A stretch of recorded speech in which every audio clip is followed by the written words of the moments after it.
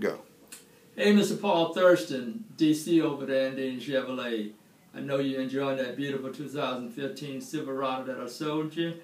If you ever need anything, please let me know. Stop by and have a cup of coffee with me one day. Thanks again for being my customer. Have a good evening.